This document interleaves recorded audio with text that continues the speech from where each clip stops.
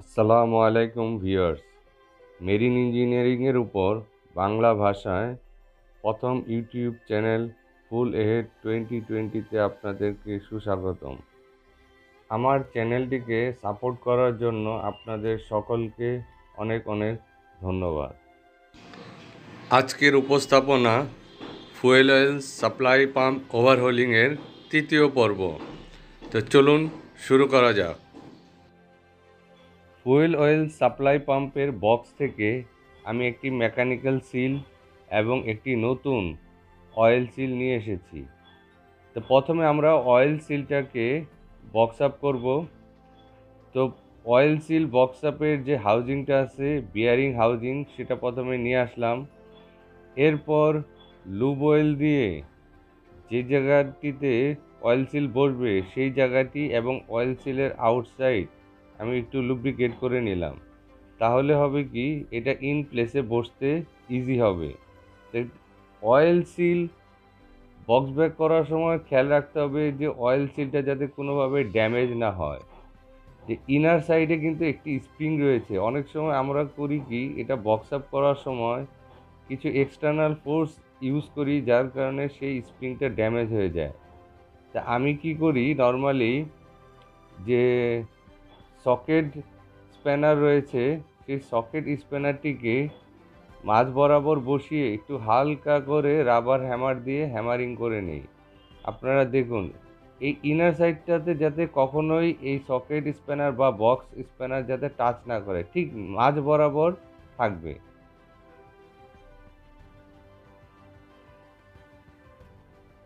এটা ইন প্লেসে বসে গেলে এটা আমরা সাইডে রেখে দিব।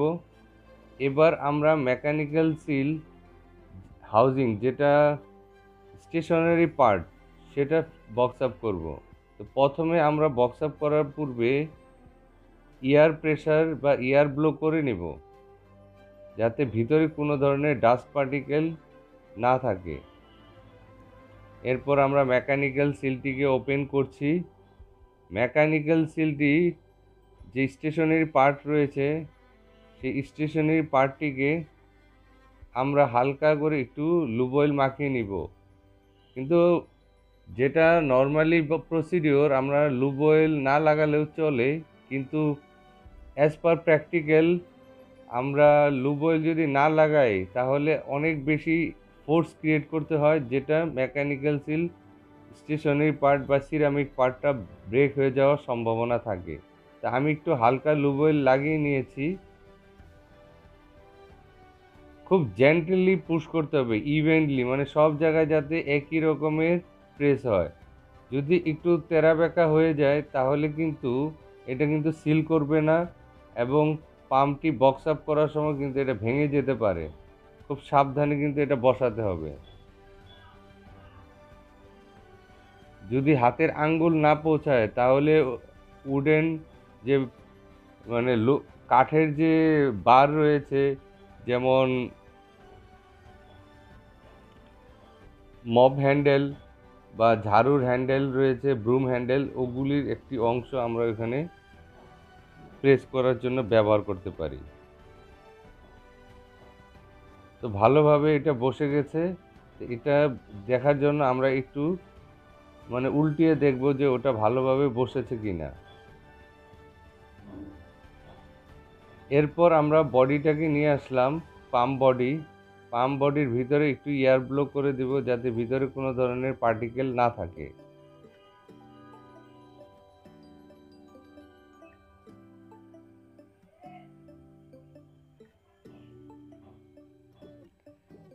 এই ডাস্ট পার্টিকেলগুলো কিন্তু মেকানিক্যাল সিল ক্ষতি করার একটা অন্যতম বড় কারণ।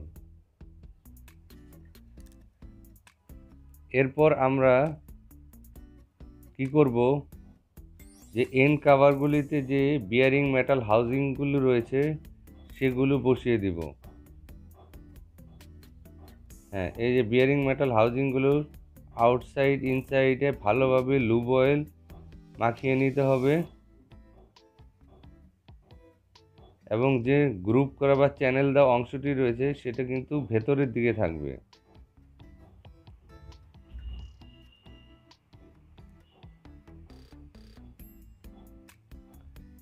এটা সাইড কিন্তু উল্টাপাল্টা করলে চলবে না।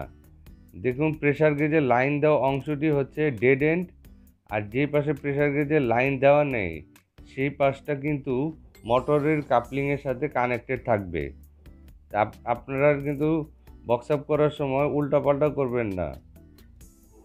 আর আমি তো আগেই বলেছি যে এই হাউজিংগুলো তিনটে আইডেন্টিক্যাল আর শুধু একটি ডিফারেন্ট তো প্রথমে আমরা কি করব? যে ডেড এন্ড অংশটি রয়েছে, সেই অংশটিতে বিয়ারিং হাউজিং মেটালগুলি লাগিয়ে দিব।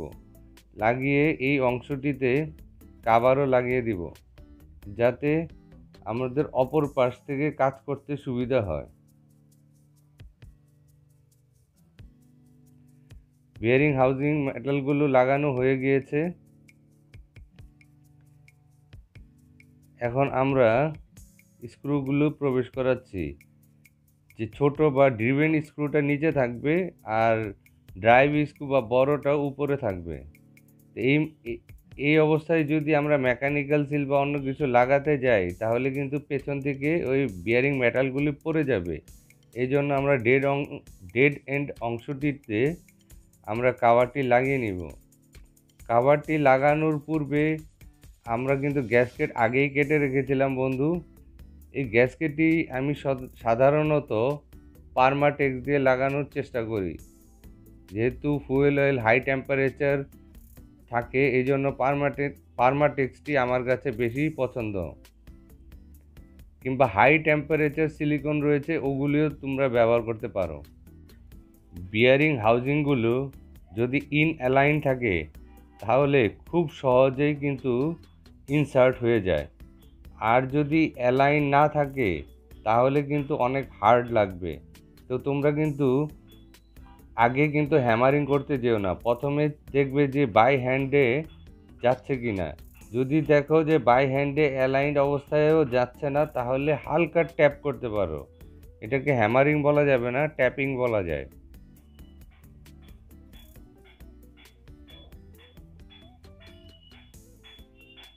আমাদের দুনো সাইডের গ্যাসকেট রেডি হয়ে গিয়েছে। এখন আমি পারমাটেক্সটি লাগিয়ে নিচ্ছি। তোমরা দেখতে পাচ্ছ।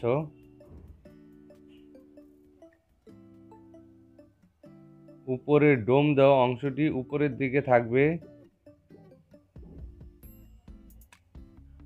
হ্যাঁ পেপার গ্যাসকেটটিও লাগানো হয়ে গেল। এখন আমরা চারটা নাট দিয়ে বা স্ক্রু দিয়ে এটা লাগিয়ে দিব।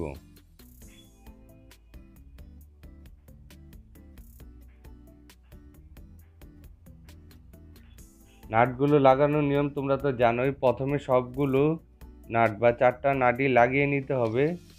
এরপরে কিন্তু একটুখানি, হালকা একটুখানি লিফট করে বাই হ্যান্ডে টাইট করে ফেলতে হবে। তারপরে ক্রস টাইট যেটা বলে যে উপরে একটা, নিচে একটা বা অপোজিট সাইডে টাইট দিতে হবে।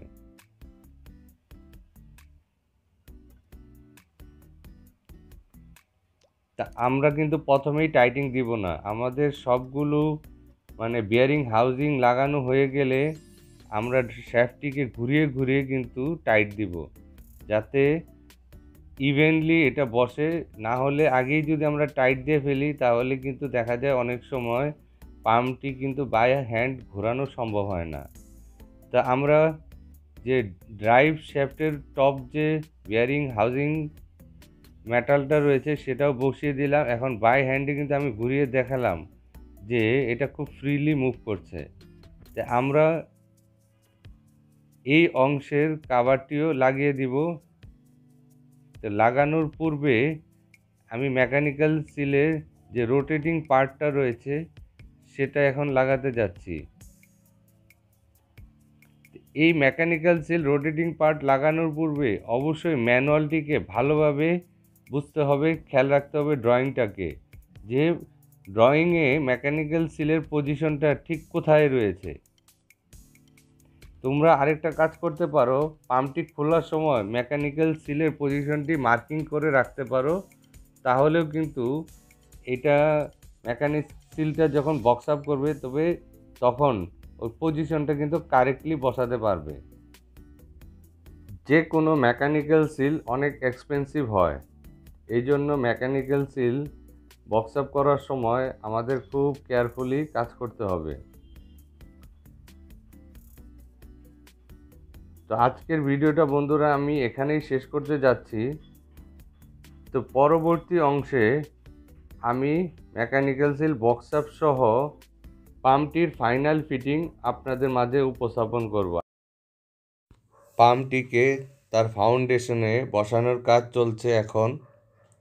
তো পাম্পটিকে বসানোর পরে সর্বপ্রথম যে কাজটা করতে হবে সেটা হচ্ছে গাইড পিনগুলো প্রবেশ করিয়ে দিতে হবে।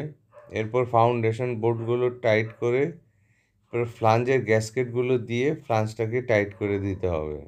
মোটর কাপলিং প্যাড প্রেসার গেজের লাইন এবং লুব্রিকেশন সিলপটের লাইন, এগুলো কিন্তু লাগিয়ে নিতে হবে। সবগুলো পার্টস ফিটিং হয়ে গেলে আমরা পাম্পটিকে টেস্ট রান করব। ইলেকট্রিক্যাল পাওয়ার রিস্টোর করে আমরা পাম্পটিকে স্টার্ট করেছি। তো পার্জিং করে সব কিছু আমরা চেক করেছি, ভাইব্রেশন, নয়েজ প্রেশার সব ঠিক আছে। তো বন্ধুরা আমার বিশ্বাস তোমরা এই পাম্পটি নিজেরাই এখন থেকে ওভারঅল করতে পারবে। লাগল আজকের ভিডিও তা জানাতে ভুলো না কিন্তু। আল্লাহ হাফেজ।